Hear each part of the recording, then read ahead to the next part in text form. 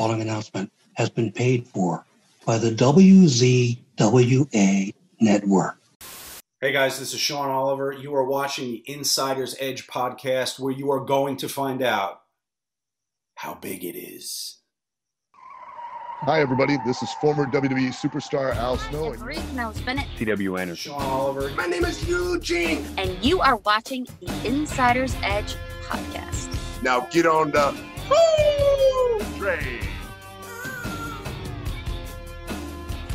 Ladies and gentlemen, welcome to the Insider's Edge podcast here on the WZWA network in conjunction with Blue Wire Hustle. I'm your host with the most on the West Coast, Karlifornia in Fury. It's great to be with you all once again.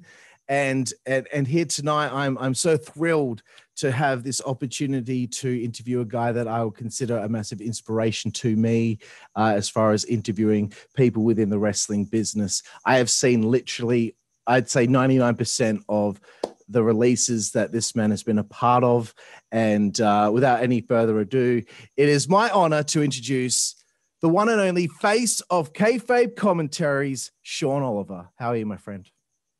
See, you and about 12 other mental defectives feel that way about me. And listen, the 14 of us will have a nice little clubhouse together. I don't know how much uh, of the general listening or viewing public feels that way, but for anyone that does, it's an honor to be here. So where am I beaming down to? Uh, down under, right? Uh, right now. That's right, bro. Perth, Western Australia. Perth. Okay. So, um, so the qualities of Perth, maybe versus Adelaide or another area like that. What? Give me some. Give me some qualities of Perth. Uh, Perth is the only uh, city in Australia that gets to have sunsets. Uh, we are way better than Adelaide. Adelaide is a shithole. Um, but you know, the, the the main thing that sucks about Perth is we are quite isolated, and when some big bands come to Australia, uh, it we tend to miss out because uh, it costs too much to bring everything over here. So. Um, being isolated kind of sucks, but on the other side of the coin, it's also good because we've only had one uh, case of COVID in public in the last 10, 11 months. So, uh, yeah, you guys have seemed to be able to keep this under control. We don't know what we're doing over here, and and I'm in my Florida place right now, so th- this entire state is a is a mess. But you guys have seen uh, to be able to uh, to manage this. Why? I think we just got in real quick, and we got everyone locked down real quick, and uh, everyone that uh, had contracted the virus went straight into quarantine into the hotels and everything. And you know we had mm, i'd say maybe eight to ten weeks where everyone had to stay at home unless that they unless they were a necessary worker like at a supermarket or pharmacy and things of that nature.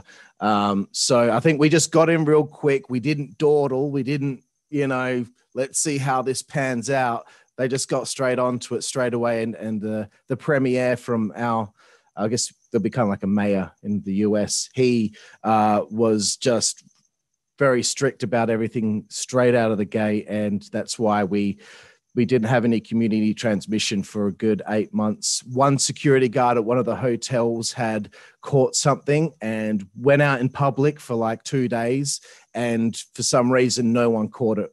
Uh, even amazing. though that happened, so we're very lucky. Yeah, that's um, amazing we're in the millions over here. I mean, it's it, we have a divisive. We are a divisive people, us Yanks up here. Okay, we are a divisive people. That um, there is a lot in society that if you are part of the team that says, "Wow, what a nice blue sky today," they are programmed to say, "It's green. It's green. It's not blue. It's not blue. Of course you think it's blue because you want to give money to all the poor people. You don't want to, you want to tax us." So uh, it's very nice to hear uh, a community that takes things seriously, uh, a, a, premier or prime minister, whatever the hell you said, that uh, that uh, takes one position, uh, does not prevaricate, says this is what we have to do, get serious or get lost. Nice to hear, and I'm glad you're healthy, Carl. For God's sakes, what would we Thanks, do Sean. if you were fallen ill?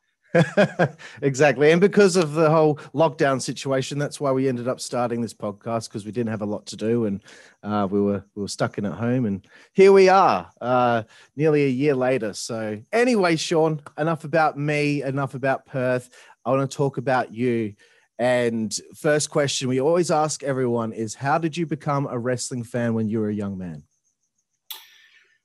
I saw Superstar Billy Graham on a giant black and white television set um, in uh, 1978, I guess, and um, it was uh, it was a spellbinding thing. There was the action in the ring, of course, which if you're you know eight years old, it's it's like uh, you, are watching live superheroes fighting, right? That's the that's the closest thing uh, to, to which I could draw a comparison because today with the popularity of all the Marvel movies and all the superhero movies, well, the, the 1984, well, I guess if, if you're talking about the first time I saw wrestling, the 1978 version of that was professional wrestling.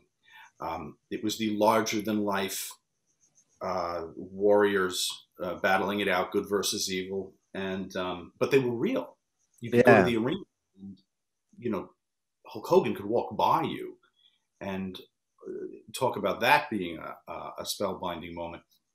So, but I was hooked. I grew up in the New York area, so I, I was I was a product of the Vince McMahon Senior product, um, and uh, superstar Billy Graham seeing the action in the ring and then hearing him talk. They did an interview segment, and that was kind of that was the whole thing. It was the dialogue and the action. I mean, it's like a Hulk movie today, right? Uh, it was the dialogue and the action. They were both as captivating. I think everyone of my era, you're probably younger than I, but anyone born in the 70s who watched in the 70s and 80s, they got hooked as kids because of that superhero thing. Now, um, I, I, think people of all ages watch because of the uh, the death-defying uh, acrobatics. It's more like the circus now, yeah. whereas back then it was uh, very much a superhero story. And that's why so many youngsters, I think, got ensnared by it. Absolutely. Yeah. I mean, for me, like the first show I ever saw was Survivor Series 1998. So I was hooked on larger than life characters. And that's why I haven't watched wrestling properly full time. And I would say 11, 12 years. And I only watch the old stuff now. Um, so I get where you're coming from. When I was a kid, boom. It just I was just amazed at everything and hooked from then on. Drinking? What are you drinking there? I'm drinking a nice a nice Shiraz, uh, Australian Shiraz. Oh, boy, you are such the stereotype right now with the Shiraz wine. you drink on camera. You're going to be broadcasting this, right? You, yep. Is this dangerous in any way? Okay. I, I, I drink, I smoke. On, you know, this is the way I do my thing. Uh, we're 12 hours apart, so I'm on my coffee here, my first coffee. Fair enough, bro. Um, so, uh, what would you say is like your, your fondest memories being a wrestling fan growing up? Like a, a storyline or, or some sort of angle that took place that really captured you the most? The angles that you know, there weren't forty-five angles a week either. Back when I watched, there, there was there was one, maybe two weekly broadcasts in the New York area. Um, they both focused on one, maybe two storylines that lasted a long time. So the big storylines that were the uh, the draws back then were uh, like Snuka and Piper. Snuka and Muraco actually first had a series of of uh, good matches at the Garden. Um, Jimmy Snuka and Roddy Piper when Piper beat him up on the Piper's pit set and whipped him, and um, that was the uh, that's what catapulted Jimmy to like superstardom. But he just he he he could not work the stick at all, which was his only downfall. He would have been, I mean, forget about it. Uh, he, he would have been, and th- this is before this is right before Hogan, right? So this is. Right. I believe was that, when was the oh maybe right at the same actually around the same time eighty four so Hogan had just come in, but Jimmy Jimmy would have been uh, over hugely if he could have uh, spoken in anything other than what can be described as bizarre cave wall allegory, uh, which is what he spewed on the microphone. Um, so those angles, of course, like the build up to WrestleMania one with Hogan and Cyndi Lauper, and you know, pop culture kind of smashing in and merging with professional wrestling too. That was certainly something that grabbed everybody. Awesome, man. Yeah, that, I mean, that would have been incredible to be a part of back then. uh, especially living in that area and being able to see a lot of it live yourself. Um, so, okay, we're going to do a little bit of a fast forward here. You're a wrestling fan through the 80s, you get to the 90s. I assume you're still a wrestling fan. When do you first become aware of the idea of the shoot interview? I saw what I think is probably the first one, which was with uh, New Jack. Um, it was an RF video, and it I, it was it just kind of happened by accident. I guess they were sitting around talking, and um, and they recorded hours of of New Jack. Now I'm going to have 65 trolls scream at me that it was actually you know Axl Rotten was the first one. Whatever. I, I, the first one I saw that I thought was the first of its kind was the New Jack one. Um, and it was a, a, very fresh concept because we had the sheets, right? We had the dirt sheets, and we had the, the, the internet was in its infancy, but um, we would soon have um, like eYada, which was an early uh, online radio broadcast uh, uh, um, a platform that uh, Dave Meltzer was uh, and Bryan Alvarez had shows on, and they would bring guests on and they would talk about the business from the inside. So that was the that was the first thing. Oh wow, these guys are now free to talk about what was for so long protected. So the newer guys doing it, newer guys meaning like a New Jack or a Justin Credible or a Shane Douglas, was one thing. But then when the old timers would start doing it, that was something completely different because those were the guys that had to fight in the bars to preserve the integrity of the illusion. So to hear them come out, to hear Don Muraco sit there and talk about, you know, what was going on behind the scenes in the 70s and 80s, that was a whole other level. So I think I caught on right about when everyone else did, um, mid 90s, 95, 96 um, seeing those old uh, in the tape trading days, I think they call it now, uh, or the the message board days when people would yeah. trade tapes online. And uh, we didn't get started until 2007, so yeah, business had like a 12 year lead up.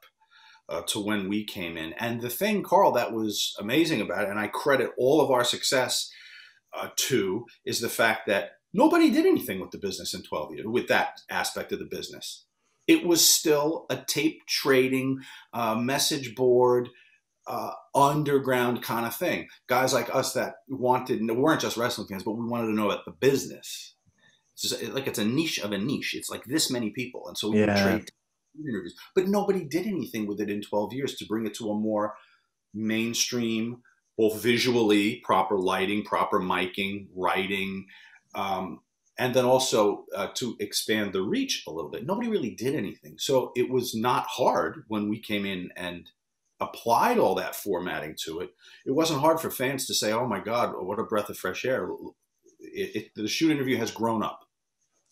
Exactly. That's what I was thinking when I was thinking about this interview. And I'm like, they changed the game. Like it was always just this straight one shot, monotone voice behind the camera asking 500 questions uh, for a seven hour shoot interview um, about every single thing. And that, I, I, like that. I like knowing every intricate detail of everything. But um, you guys came in and you had different formats. You didn't just do the whole career interview. You had the you shoot, you had your breaking kayfabe, you had your timeline.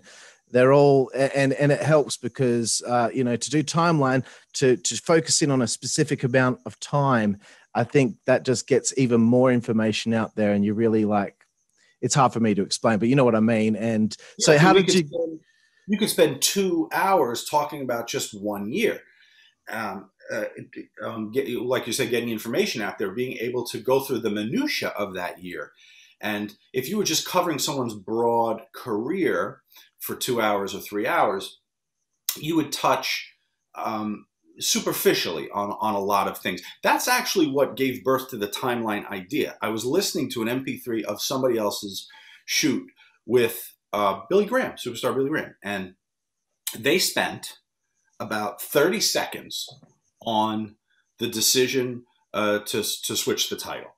And I was like, I could do two hours just on uh, Billy winning and Billy losing the title and and you know, uh, getting it away from Bob back, uh, uh, getting it to Bob Backlund, and just it was just it was glossed over. So um, I said, you know, uh, such a short amount of time dedicated to a title change. What if we just did a year? What if we just did this year? And that was that was the genesis of it. Wanting to spend um, a, a, a concentrated amount of time on just one year in the business. And if you took the right guy, that was one of the secrets to our success that I talk about in my book, The Business of Kayfabe. Um, if you get the right person with the right year, that's the uh, right person, right show. In, in timelines uh, situation, it would be right person, right year. But in general, for a company, right person, right show. Each show kind of had its own identity in all of the series that we produced. So um, if you get the right person who's working at the top of the card that can talk about even stuff they weren't involved with for the year, whatever, 1984. Um, we did Piper for 84. So, of course, he was front and center for so much of it, but he was so present. It meant he was going to be at all of the tapings of every show, um, most of the house shows. So he could talk about other things that were going on in the company too, because he was there if you had someone on that was working underneath on the card, they wouldn't be able to be, they wouldn't have been privy to the production meetings or or things that were happening, eh, you know, with the top echelon. So right person, right ear, and that allowed us to go through a lot of that detail of which you spoke for timeline.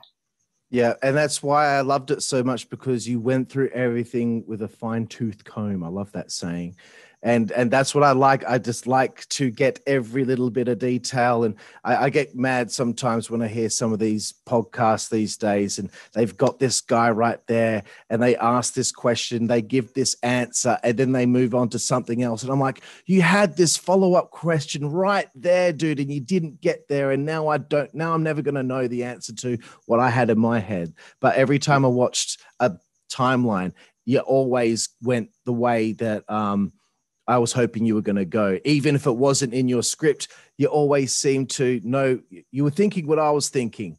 And you went down that road, you branched off here, you branched off there. That's why I loved it so much. I just wanted to I just wanted to say that. That was one of the one of the reasons that we succeeded is when I sat down with a guest. Um, I was, of course, directing it in my head. Um, it was already written. Uh, that's uh, to Anthony's credit, uh, the research and the writing that I was given as I sat down as host uh, made it pretty uh, pretty fail safe. it would have been very hard for me to mess that mess up one of those shows because of how much preparation we had because of Anthony. But once I got there and I had to sing the song on stage, so to speak, I, reminded myself to become a fan again as I was hosting because I would naturally just be in the mindset that my viewer is going to be in and asking the questions and um, doing the things, going to the places that uh, that the, like you just said, you I was asking the things you wanted to know about. So that's exactly how I did that was just by being a fan when I sat down. And it, it was so easy to get lost in the other stuff. I mean, there's a full production going on around you. And, you know, maybe there was a problem with the talent. Maybe there's a problem with the money. Maybe there's a problem with the agent. Maybe there's a, a, a travel constraint. Maybe we've got to get them out. And I'm on a, I'm, I'm on, a, I'm on a, a strict time schedule. It's very hard to switch hats like that. But I had to because when it was time to host, I had to go to a different place. I couldn't be worried about that extraneous crap. I had to be you sitting there with them, uh, tra- channeling you from home so yep. that I knew what you wanted to hear. And I'm glad to hear that it, it succeeded at least a few times uh, in, uh, in timeline episodes for you. Absolutely, bro. Um, and you, you're speaking of, you know, there can be certain problems uh, as the interview's going on. Um, and one thing I found through my experience in the last year was making that connection during the interview and figuring out how to get them. Uh, because you know they interviews are a dime a dozen with some some professional wrestlers. They've done thousands. What am I going to do to make that connection? I, will be honest. I interviewed Eugene about uh, a month ago. I didn't get a connection with him. I don't know why. I tried real hard. It just didn't happen. That's fine. Not against him. Um, but someone like Too Tough Tony, I I could tell from the get go he was he wanted to get this over and done with. But I made that connection with him, and when we got to an hour, he was like, "Oh, damn, bro, I, I could go another hour. I'm having so much fun." So I made that connection, and it worked. Could you see sometimes when you're interviewing someone, I haven't made that connection yet, and then there will be a moment where, okay, finally it happened. There were. Um, it was few and far between when I wasn't able to make a connection with a talent. I um, I call it my superpower. I had a discussion when I was starting the pod, my podcast with, I had a discussion with, uh, with Scott Levy with Raven. And I was saying that, um, the, this is going to be my kryptonite. The fact that I've got to do this over a computer, um, yeah. and not sit in a room with someone and take any time to get to know them beforehand, because that energy and that trust is something that floats in the air and it doesn't go uh, through these wires here uh, as easily. So uh, it was one of my fears. And um, it, when we were on a set, A, it helped if I knew the talent, first of all, because they were already disarmed. They knew I wasn't going to try and get them to say something bad or screw them or make them look bad.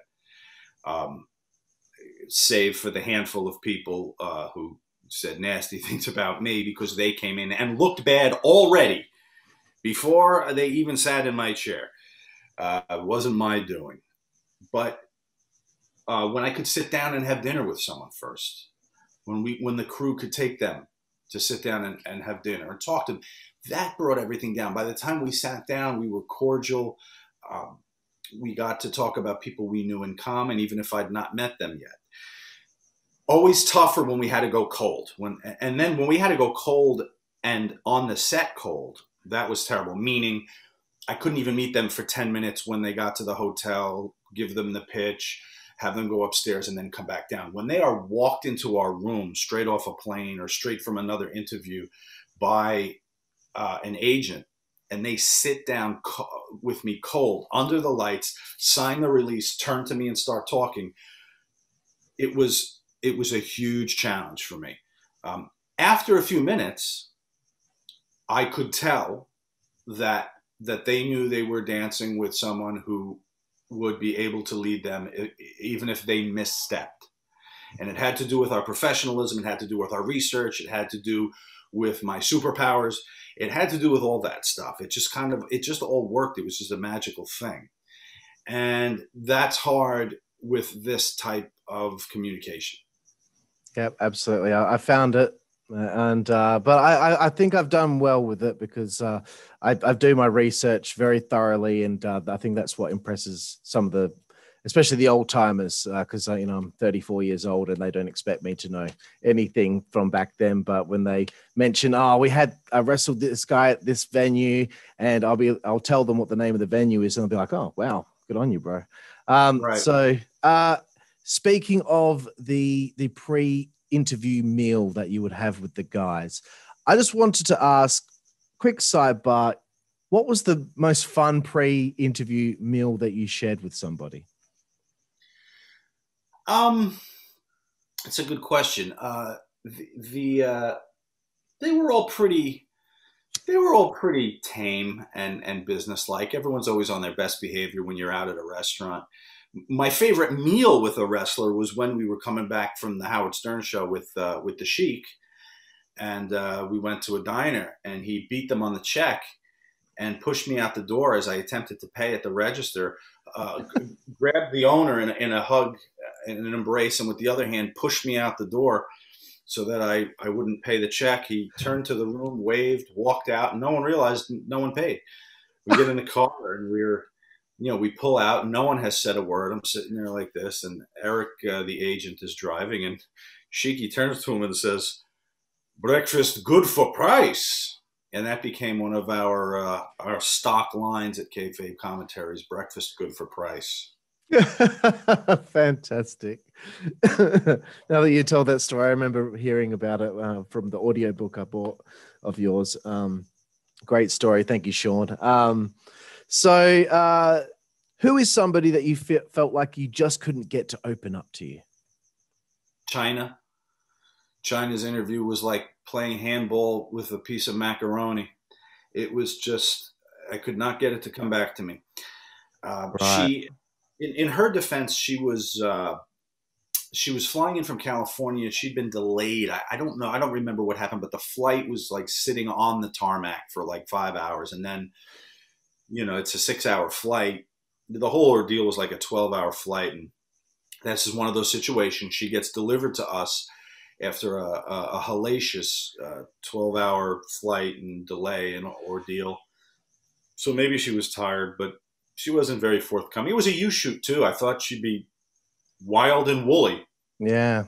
Um, but it was uh, more like an insurance seminar. Right.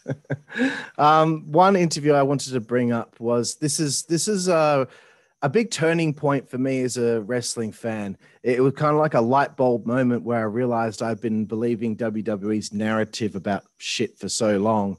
Uh, it was your interview with Vince Russo on Guest Booker.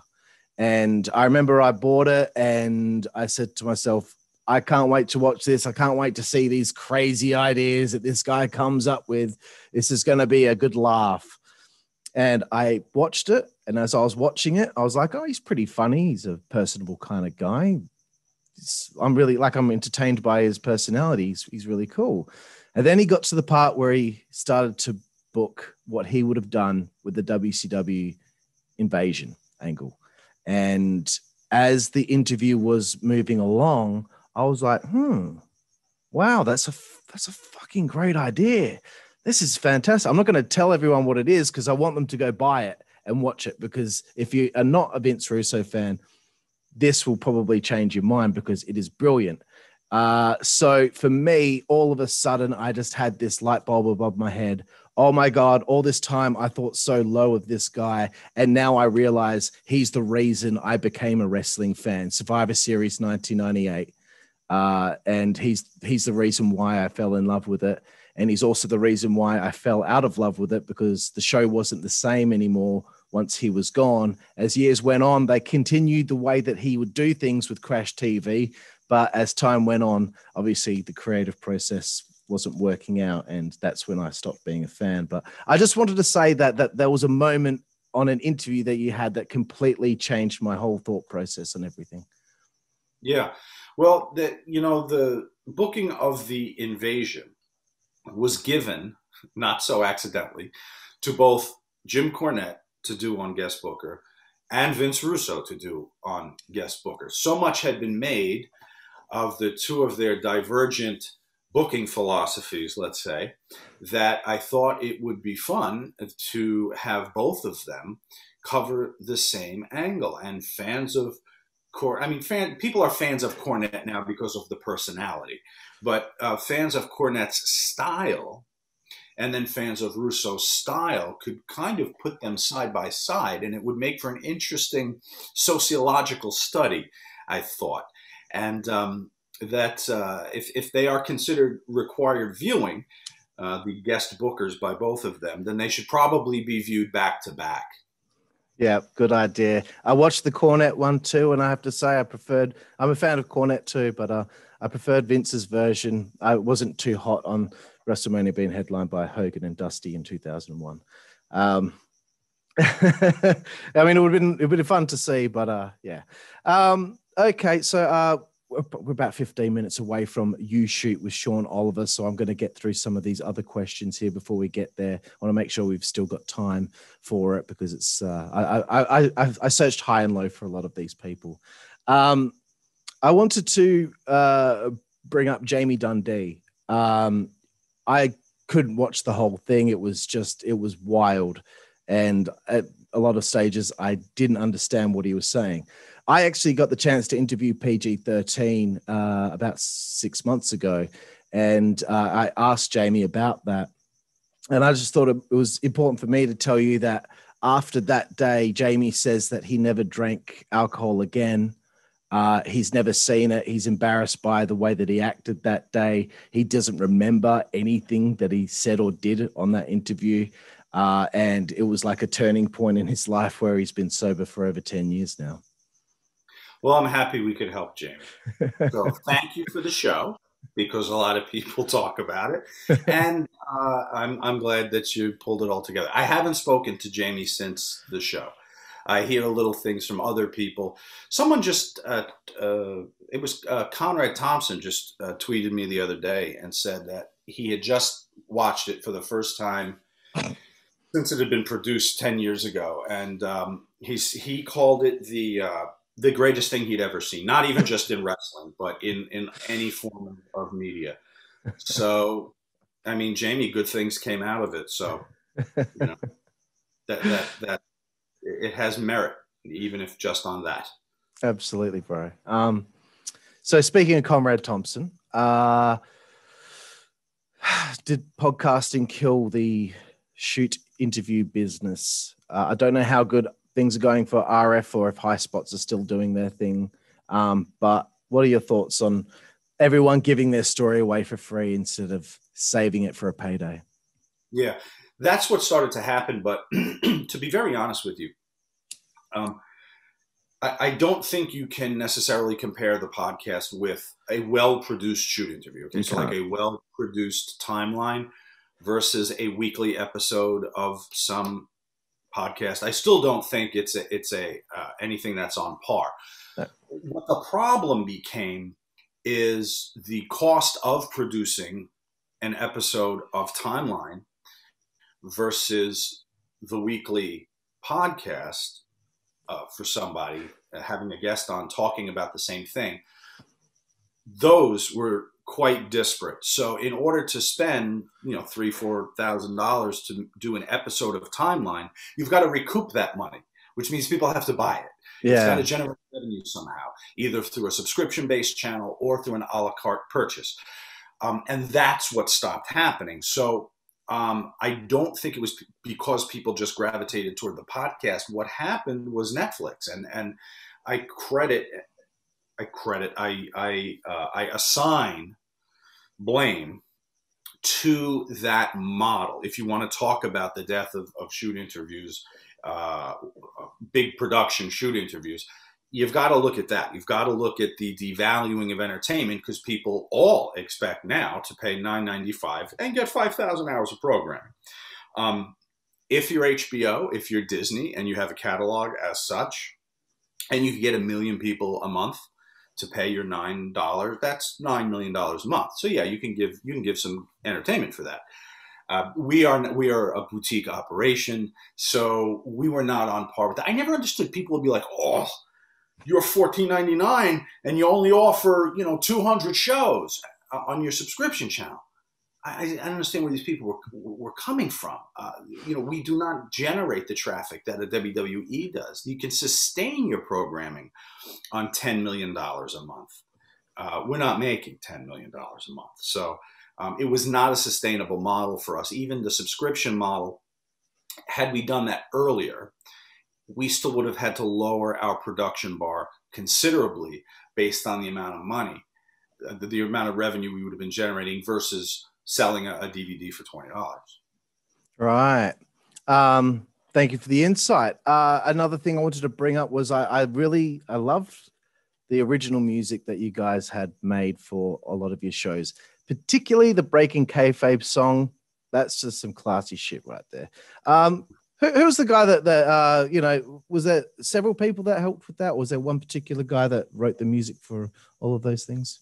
Our guest booker theme was written by uh, a, a, guy Jeff Nilsson, who I knew, who was a musician. I was um, I'd worked with Jeff. Um, I used his studio. He had a home studio, and uh, just in being with him, it was at, at, the same time we were launching the company.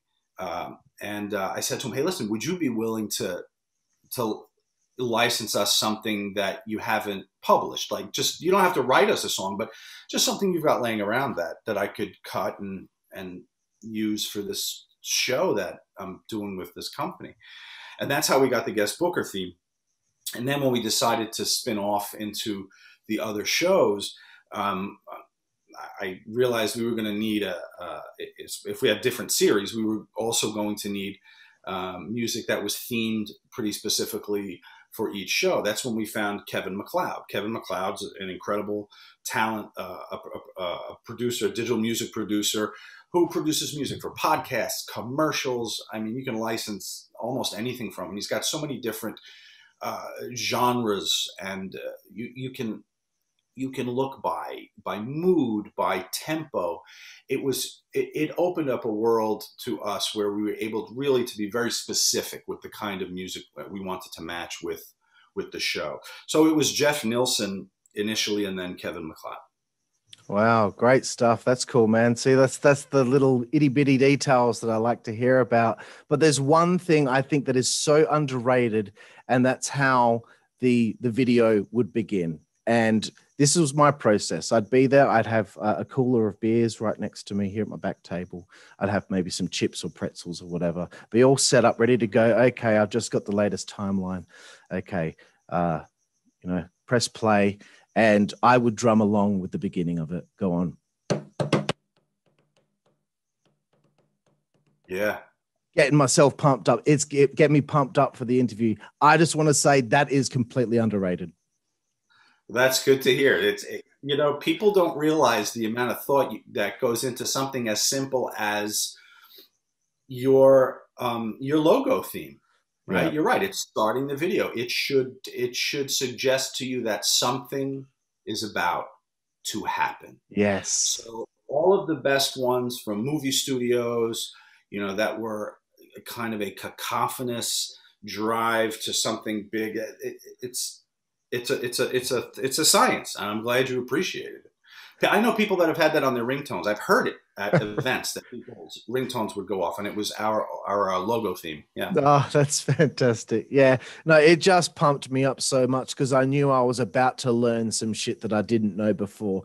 Uh, you know, a lot of times when I listen to interviews, I already these people have been asked these questions over and over again, but I knew I was about to learn, so that was the best part. Um, before we get to YouShoot with Sean Oliver, the last question before we get there is what would you say is your crowning achievement through the time you were uh, you guys were producing your stuff?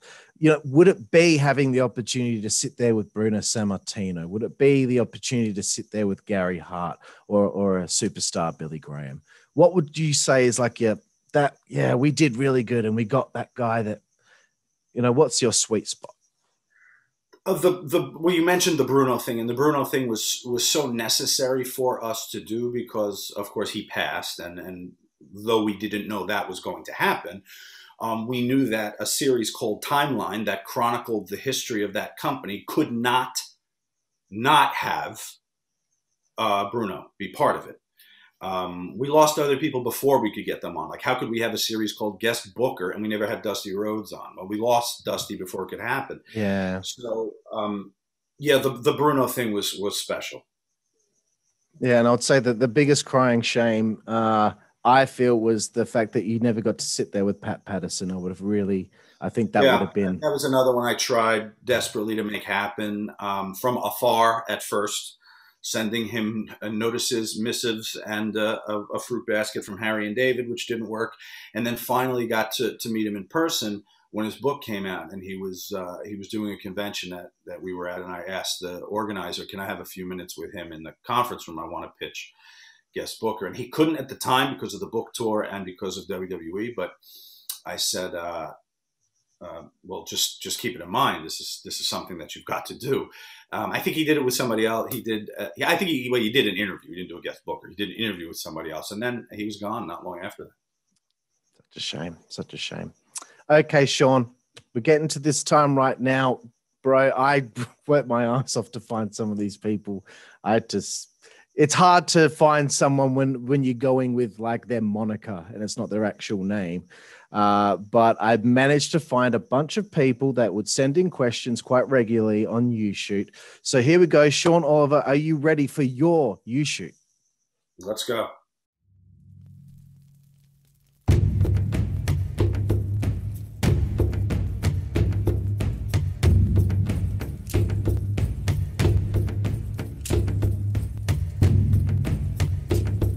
Okay. HBK's Lazy Eye says, Hey, Sean, how's it going? It's your old buddy, HBK's Lazy Eye. Back in 2018, I remember a Mikey Whipwreck YouShoot and a Justin Credible U shoot being advertised on your website, yet they were never released. What happened to those projects? And if they were filmed, will we ever see them? The Justin Credible was announced. We took questions. Uh, I, I believe it was written, and then he had a scheduling conflict, and I couldn't take a chance on. It was one of those hairy things, like oh, might be able to do it this day, might be able to, and I couldn't take a chance. So we actually booked Mikey as the replacement to Justin's show. So Justin's was never shot. Mikey's was shot, and it is in the can, and we still have it. And I'm, I mean, you'll it will see the light of day once uh, we uh, decide what the hell is going on with the band. So it, we do have.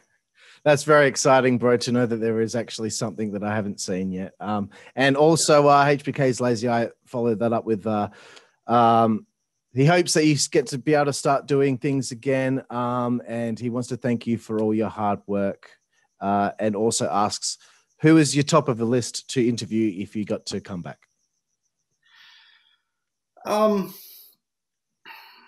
it would depend the show. I mean, would you want a timeline? Because then we could we could find uh, one of the more modern guys to cover a modern era, like a CM Punk, someone who would be interesting Mm. to talk to. And Uh, And yeah, sure, yeah. But he could cover contemporary stuff and would be interesting. Not a whole host of guys you can say that about who can cover Mhm. contemporary product. I'm saying contemporary being the last 10 years yeah. um, and still be an, an interesting, well-spoken, insightful interview. I think Punk would be one of them. So yeah, we'll say that for now. And HBK's Lazy Eye, thank you for giving one of the most vile, crass monikers um, in the history of YouTube. So appreciate it. And I also want to give throw this out there. I, I tried to get in touch with Dusty's ghost, but uh, never got a response from him. That was another kind of That's offensive. Yeah. uh, Sergey from Russia asks, uh, "How did you describe the YouShoot concept for a wrestler before starting filming?" Um, the, the times that we were allowed to do that, meaning that they weren't booked by Eric Sims, who would keep them in the dark uh, as much as possible before they got to our set. Um, I would say it, it is just it's an interview conducted entirely by the fans. Um, some questions will be silly, uh, some um, will be serious wrestling questions. But the thing that I always said to them before you shoot was, have fun with it. Uh, that was part of my standard in the chair pitch when I leaned over, and if that was the first time that I had to explain the show. Uh, for timeline, my standard was uh, a detail that you might think, you being the talent, that you might think is is just uh, trite and maybe something not to talk about, something that was said to you uh, in the locker room before you went out for WrestleMania. That's the stuff we want. You think it's trite. It was an average Monday. That's the stuff we lo- we're looking for. Yeah. We know who won the match. We know you guys went, you know, 60 minutes and you did a 1,060 minute Broadways. We know all that stuff. But, uh, but that little detail that you think is just commonplace, that's the minutia that we're looking for for timeline. So spit it out. If, if it is uninteresting, I'll cut it. But let me be the judge of that. So that's what I would tell them for timeline. Awesome, bro. Awesome. And and me finding Sergey was incredibly difficult. I just searched keywords Sergey uh, kayfabe commentaries on Twitter, and I managed to find his Twitter. He doesn't use it anymore. I managed to find his email address by googling over and over again. And You could have probably just visited the White House, and Sergey from Russia would have been there uh, last year. uh, and uh, my boy right up here is next. It's Salvatore. Uh, and of course, his question has to be a ridiculous one. Uh, regarding Gabagool, um, do you New Jersey people call it that in a tongue in cheek, ironic way? You know, kind of like how John Waters is in the joke on the campy decor of his apartment. Or are you guys just oafs who don't know any better? By the way, stop calling it gravy. It's not gravy. All right, so all right, so Salvatore, these are important questions for, uh, for, for northeasters here. Um, it is sauce. It is sauce. It is sauce.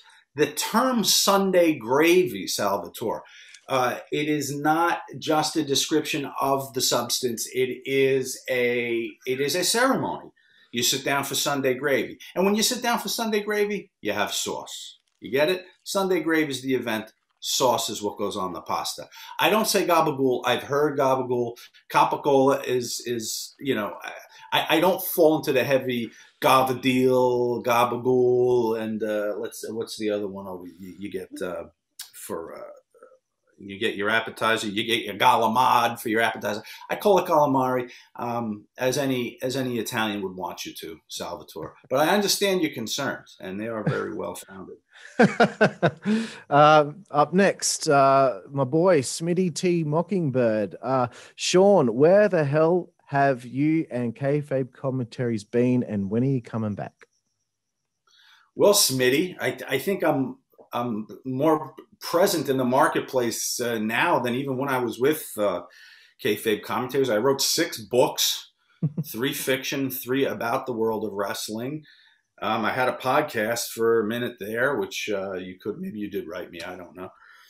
This is the fifth podcast I've done in the last two weeks, and I got invited to a sixth one this morning. So I'm out there, Smitty. uh, again, Sergey from Russia. It's the Fuck Mary Kill YouShoot edition. Tammy, Missy Hyatt, Maria Kanellis. Oh God! See when when the, when the tables get turned and you have to say kill, um, very hard. I, I, may need somebody as a guest again. Um, so uh, so I'll, I'll I'll do, I'll do different labels for them. Uh, Maria, fantastic in, in all categories. Uh, uh, wonderful guest, wonderful human being. Um, Tammy is a great worker who, uh, if you hire, is going to deliver the product you expect. And then, who's the other? Oh, uh, uh, again, uh, another great worker who who knows her place in the in that business, uh, exploits it very well. I was happy as a business owner with all of their performances. And uh, yeah, I guess that's all I can say. Fair enough, bro. Uh, Adam K asks um, to ask you about, you know, how does Jim Cornette like his burger cooked at Yogi's? um, I'm not sure it was a burger uh, that he. Oh, you know what? It probably was a burger. I'm thinking of their menu. He wasn't getting pasta primavera. He wasn't getting a salad. Um, I don't think he would have gotten a chicken sandwich. Um, it was yeah, it was probably burger. And I see Jim. I see Jim as a well done kind of guy. I have to confirm that. uh, we've got three more to go. Uh, Salvatore M. Once again, uh, would you take it? Would you take financial advice or get a mortgage from a guy dumb enough to marry Ric Flair's daughter without getting a prenuptial agreement? All right. So I just learned that this happened. I didn't know. I didn't know that they were married, but um, I think in the affairs of uh, of the heart, uh, sometimes we um, sometimes we invest uh, our souls uh, deeper than maybe is prudent. uh, second last one, Sergey from Russia chimes in again. What was the perfect e shoot that you did in terms of how close it was to your concept of the show, and who was also the most disappointing guest? Well, the Chyna one was disappointing. Um, the uh, I, I, there were so many good ones. I mean, we we like I said, perfect guest, perfect right guest, right show. We did that very well. It's one of the things we did well. So the, I mean, the honky tonk man YouShoots are you know the, the litmus test for the series to show you that that it it it, it works. Um, uh, the Tony Atlas one, I'm a very big fan of. Uh, yeah. A lot of rewatchability. Um, Corny's show, Missy Hyatt's show. It, it was there were so many good ones.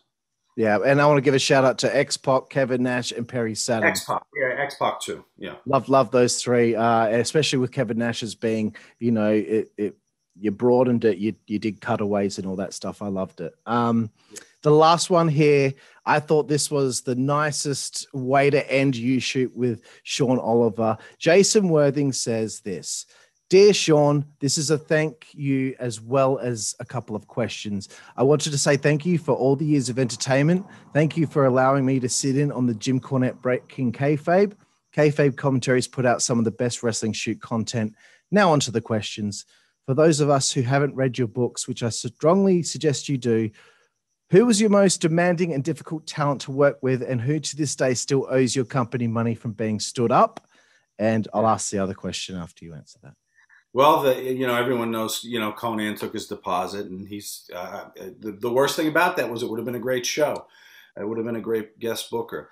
Um, you know, uh, he references the book, so he's talking about the Buff Bagwell story, which you know I uh, It's very well disappointing. Yeah, that did not go as planned, and uh, there was another part of that. What was it? Uh, who owes us money?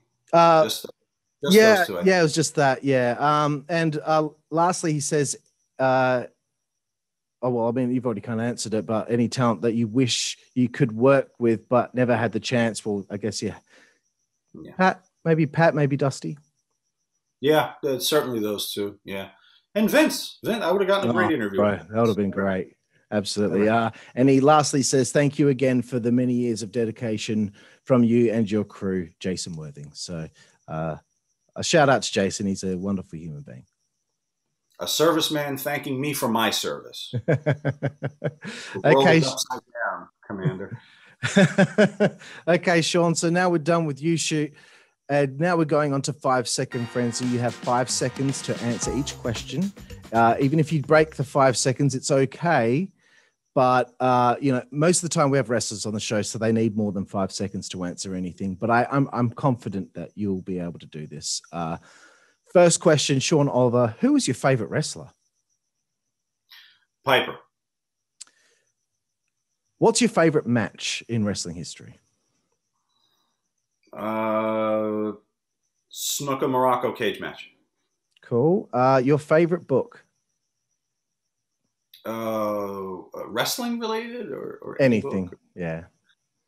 I'll say Pet Sematary. It was the first novel that I read as a as a sixth grader, uh, a young impressionable sixth grader. So uh, Pet Sematary.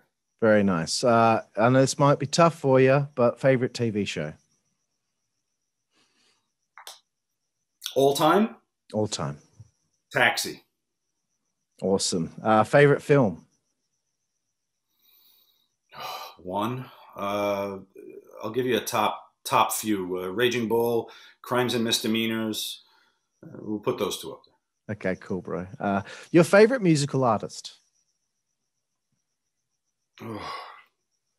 All time, any genre. Uh, Yep. uh, Eddie Van Halen. Oh, brilliant, bro. Excellent. May you rest in peace. Uh, your favorite food, Sean. Chicken tikka masala. If I can get to Indian. Um, if not, I like a really spicy seafood fra diavolo. Very Gravy. nice. uh, favorite place to eat on the road. Cracker Barrel. Nice. We get that uh, a little bit. Um, favorite alcoholic beverage. Old fashioned. Nice. Uh, favorite female body part. Uh,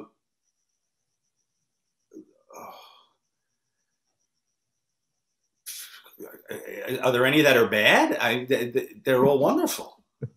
So maybe you're saying the whole package. Yeah. Yeah, we've had that before. Nikita Koloff says he he likes the shape of a woman. That's very nice, I think. But the overall, like the distant, uh, putting it all togetherness of it. Yeah. Very nice. And the last one here on Five Second Frenzy, Sean, your favorite curse word.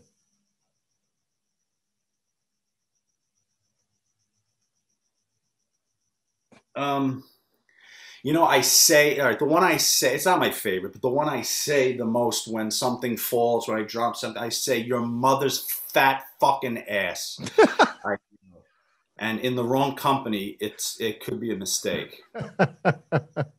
I believe that's the first time we've had that answer on the show. So uh, uh, usually we just get fuck, but um, that's that's really uh, that's quite something. So, Sean, again, I just want to say thank you so much for uh, sitting down with me and doing this interview. This has been so awesome for me. As I said at the beginning, you've been an inspiration for me. You, you've you've given me so many hours of content that I was so excited to to watch. It reminded me of how I felt when it was going to be Monday Night Raw in 1998, 1999. It reminded me of that feeling like the anticipation. Here we go. I'm going to learn something. Something's about to happen. Uh, that's where I. That's what I get from it. So, from the most isolated city in the world, Perth, Western Australia, your biggest fan lives right here. Thank you, Carl. And uh, it's good to get down to Australia. So uh, I'm happy I could have flown back there this morning. Be well. thank you, Sean. And thank you, everyone out there, for watching here. The Insider's Edge podcast on the WZWA network. I'm your host with the most on the West Coast, Karlifornia, with my new friend, Sean Oliver. And we will see you next time. Thank you.